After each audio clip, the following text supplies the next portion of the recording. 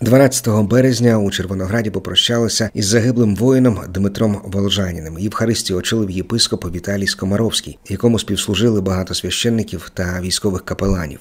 Дмитро Волжанін відважно загинув при виконанні бойового завдання на Луганщині ще в червні 2022 року. Весь цей час він вважався зниклим безвість. До останнього моменту усі сподівалися і мали надію, що Дмитро ще живий. Але на жаль, сьогодні ми поділяємо цей біль із мамою, рідними, друзями та побратимами героя. Пише парафія зіслання Святого Духа в Червонограді. Поховали Дмитра Волжаніна на алеї героїв на Бендюському кладовищі.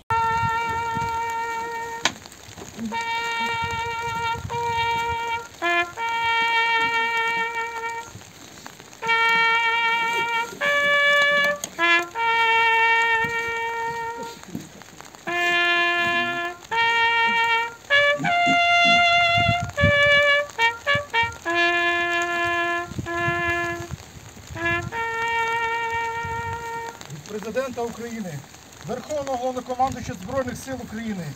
Прийміть цей прапор як символ держави, який вірно служив до кінця ваш син.